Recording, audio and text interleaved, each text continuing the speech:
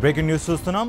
AP ప్రజల దీర్ఘకాలిక demand విభజన చట్టంలోని హామీ అయిన విశాఖపట్నం రైల్వే జోన్కు సంబంధించిన కూత. ఈ ఏడాది రైల్వే బడ్జెట్లోనూ వినిపించలేదు. పైగా దీనిపై కేంద్రం మరోసారి కిరికిరి పెడుతోంది.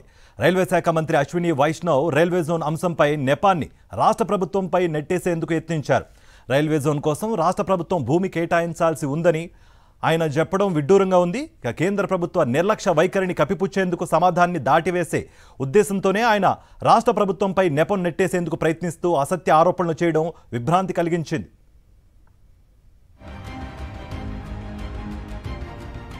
కేంద్ర మంత్రి చెప్పిన యాభై రెండు ఎకరాలకు రైల్వే జోన్ వ్యవహారానికి అసలు ప్రత్యక్ష సంబంధం ఏమీ లేదు. ఆయన చెబుతున్న యాభై రెండు ఎకరాలను రైల్వేకు కేటాయించకుండా తాత్సారం చేసింది గత టీడీపీ ప్రభుత్వం. ఇక అసలు విషయం ఏంటంటే ఆ యాభై రెండు ఎకరాలను రైల్వేకు అప్పగిస్తూ వైఎస్ఆర్సీపీ ప్రభుత్వం ఇప్పటికే నిర్ణయం తీసుకుంది. గత నెల రెండున జీవీఎంసీ కమిషనర్ రైల్వే అధికారులకు లేఖ రాశారు. వాస్తవాలు ఇలా ఉంటే కేంద్ర మంత్రి అశ్విని వైష్ణవ్ ఇందుకు విదూరంగా విరుద్ధంగా రైల్వే జోన్పై అవాస్తవాలు వల్లవేశారు. కేవలం ఒడిశాలోని బీజేపీ రాజకీయ ప్రయోజనాల కోసమే. ఆయన ఈ విధంగా మాట్లాడుతూ విశాఖ రైల్వే జోన్ వ్యవహారాన్ని తాత్సారం చేస్తున్నట్లుగా స్పష్టమవుతోంది.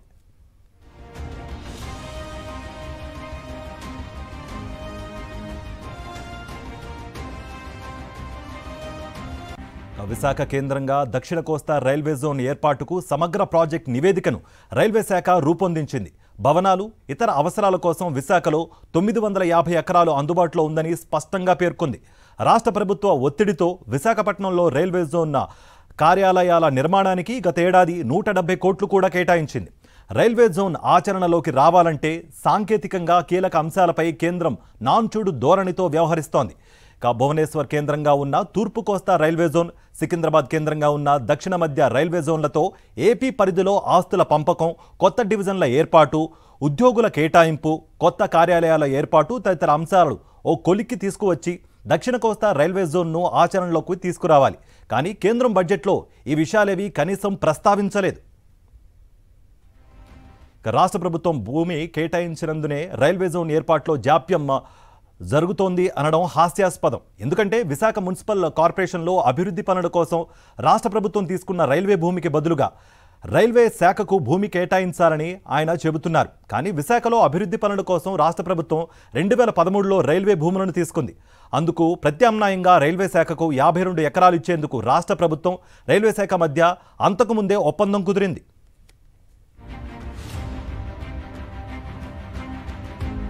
రెండు వేల పద్నాలుగులో ఉమ్మడి ఆంధ్రప్రదేశ్ను విభజించారు.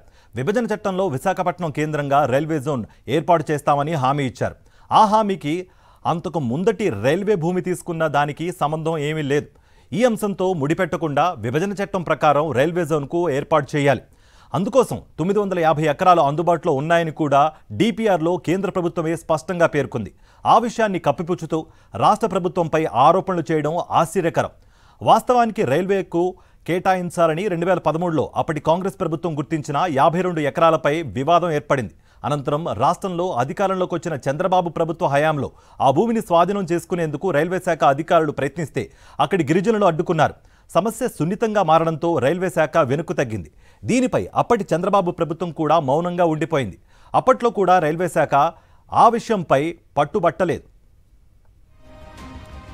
భూమి సమస్యతోనే రైల్వే జోన్ ఏర్పాట్లో జాప్యం జరుగుతోందని రైల్వే శాఖ ఇప్పటి వరకు చెప్పనేలేదు రైల్వే జోన్ అంశంపై వైఎస్ఆర్సీపీ ఎంపీలు కేంద్ర రైల్వే శాఖ మంత్రి అశ్విని వైష్ణవ్తో ఈ నాలుగున్నరేళ్ళలో ఎన్నోసార్లు సమావేశమయ్యారు. ఏ ఒక్క సమావేశంలో కూడా ఆయన ఈ విషయాన్ని ప్రస్తావించలేదు. కేంద్ర రైల్వే మంత్రి అశ్విని వైష్ణవ్ ఇంకా అప్పగించలేదని చెబుతున్న యాభై రెండు ఎకరాలను రాష్ట్ర ప్రభుత్వం ఇప్పటికే రైల్వేకు అప్పగించేసింది. ఈ మేరకు గతంలో టీడీపీ ప్రభుత్వంలో ఆ భూముల్లో ఉన్న ఆక్రమణలను వైఎస్ఆర్సీపీ ప్రభుత్వం తొలగించారు. వాటిని పూర్తిగా తమ ఆధీనంలోకి తీసుకున్నారు. జీవీఎంసీ పరిధిలోని మూడు సర్లోవర్ల సర్వే నెంబర్ యాభై ఏడు యాభై ఎనిమిది యాభై తొమ్మిది అరవై ఒకటి అరవై రెండు అరవై మూడు అరవై నాలుగు అరవైతో ఉన్న యాభై రెండు ఎకరాలను రైల్వే శాఖకు అప్పగించారు. ఈ మేరకు GVMC municipal commissioner CM Srikanth Varma ఈ ఏడాది జనవరి రెండునే విశాఖలోని ఈస్ట్ కోస్ట్ డిఆర్ఎంకు లేఖ ద్వారా తెలియజేశారు. వాస్తవం ఎలా ఉంటే రాష్ట్ర ప్రభుత్వం భూమిని అప్పగించలేదని రైల్వే మంత్రి వ్యాఖ్యానించడం దారుణం. రాష్ట్ర ప్రభుత్వంపై దుష్ప్రచారం చేసేందుకు ఢిల్లీలోని పచ్చ మీడియా ప్రతినిధులు ఉద్దేశపూర్వకంగా అడిగిన ప్రశ్నలకు ప్రభావితమైన ఆయన అవాస్తవాలు మాట్లాడడం కేంద్ర మంత్రి స్థాయికి తగినట్లుగా లేదని పలువురు విమర్శిస్తున్నారు. ఒడిశాలో బీజేపీ రాజకీయ ప్రయోజనాల కోసమే ఏపీ విషయంలో కేంద్రం నిర్లక్ష్యంగా వ్యవహరిస్తోంది అన్నది స్పష్టమవుతోంది.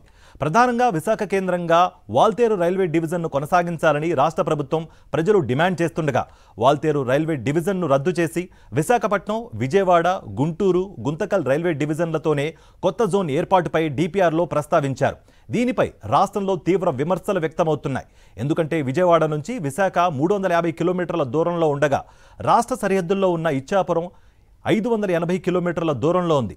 అంతవరకు విజయవాడ రైల్వే డివిజన్గా ఏర్పాటు చేస్తే పరిపాలనా నిర్వహణ సమస్యలు ఏర్పడతాయి. అందుకే వాల్తేరు రైల్వే డివిజన్ను కొనసాగిస్తూనే విశాఖ కేంద్రంగా రైల్వే జోన్ కావాలని రాష్ట్ర ప్రభుత్వం ప్రజలు డిమాండ్ చేస్తున్నారు. ప్రస్తుతం తూర్పు కోస్తా జోన్లో అత్యధిక రాబడి ఉన్న వాల్తేరు డివిజన్ను రద్దు చేయాలని కేంద్రం భావిస్తోంది. తద్వారా భువనేశ్వర్ కేంద్రంగా ఉన్న తూర్పు కోస్తా రైల్వే జోన్ ఆర్థిక ప్రయోజనాలకు పెద్దపీట వేస్తోంది. ఒడిశాలో బీజేపీకి రాజకీయంగా ప్రయోజనం కలిగించేందుకే ఇలా వ్యవహరిస్తోంది. కేంద్ర మంత్రి అశ్విని వైష్ణవ్ ఒడిశా క్యాడర్కు చెందిన మాజీ ఐఏఎస్ అధికారి కావడంతో ఆయన ఒడిశాకు అనుకూలంగా వ్యవహరిస్తున్నారనే విమర్శలు వెల్లువెత్తుతున్నాయి.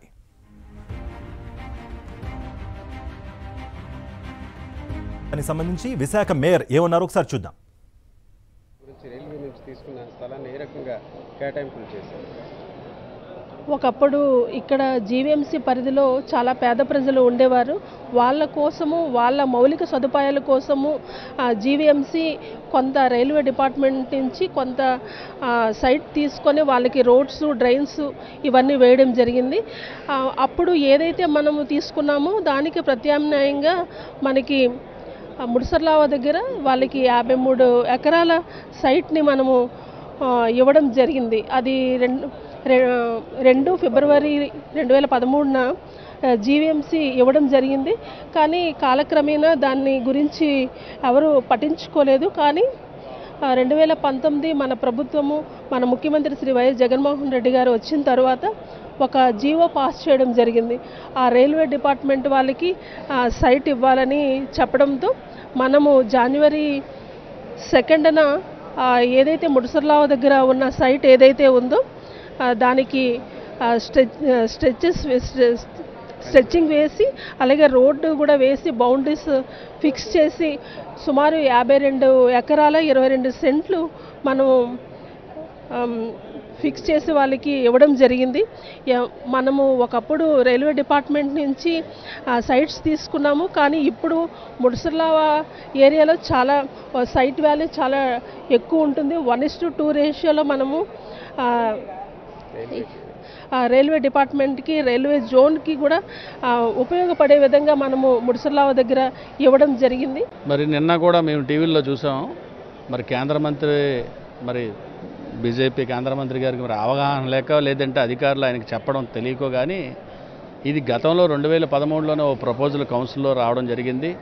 తర్వాత వచ్చిన ప్రభుత్వాలు ముఖ్యంగా తెలుగుదేశం ప్రభుత్వం మన విశాఖపట్నం నగరంలో ఏ మురికివాడలు రైల్వే జాగాల్లో ఉన్నారో వాళ్ళందరికీ మరి ఉన్న స్థలాల్లోనే ఇల్లులు ఉండాలనే ఉద్దేశంతో అప్పుడు ఏదైతే కౌన్సిల్లో తీర్మానం చేసి పంపించారో దానికి మరి గత రెండు వేల పద్నాలుగు రెండు వేల పంతొమ్మిదిలో ఉన్న ప్రభుత్వం ఏమాత్రం పట్టించుకోకుండా దీని మీద. మరి ఈరోజు గౌ గౌరవ ముఖ్యమంత్రి మరి జగన్మోహన్ రెడ్డి గారు వచ్చిన తర్వాత దీని మీద జీవో ఇవ్వడం జీవో ఇచ్చిన తర్వాత మరి మొన్న జనవరి రెండవ తారీఖున ముడసల్లావులో ఉన్న యాభై రెండు ఎకరాలు వాళ్ళకి లిఖితపూర్వకంగా వాళ్ళ అధికారులకు అందజేయడం జరిగింది.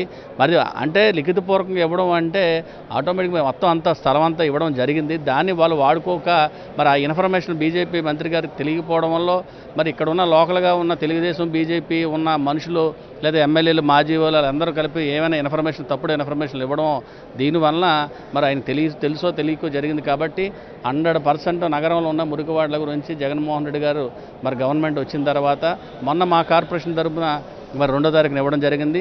ఇప్పటికే వాళ్ళు వచ్చి హ్యాండ్ ఓవర్ చేసుకోవడానికి ఎప్పుడైనా వచ్చి అలా హ్యాండ్ ఓవర్ చేసుకుని సిద్ధంగా మా కార్పొరేషన్ మా కార్పొరేషన్ అధికారులు మా మేయర్ గారు మా కార్పొరేట్లు అందరూ కూడా సిద్ధంగా ఉన్నారని తెలియజేస్తున్నాం